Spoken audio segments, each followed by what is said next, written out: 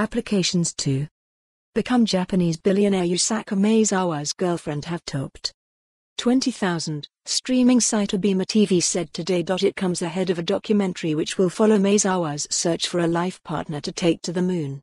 Read more. Japanese tycoon Yusaku Maezawa to become SpaceX's first private passenger and trip to the moon. The Japanese billionaire made headlines last September when it was announced that he will be the first private passenger on Elon Musk's SpaceX moon flights. The entrepreneur has a net worth of $3.6 billion, according to the Bloomberg Billionaires Index.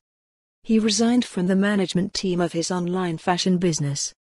Zozo after selling a 30% stake to Yahoo Japan, which is owned by SoftBank, for $2.3 billion. The deadline for applications is the 17th of January and there will be a series of matchmaking dates with Maezawa before a final decision in March. Maezawa will also invite a coterie of painters, designers and architects as well as his chosen partner.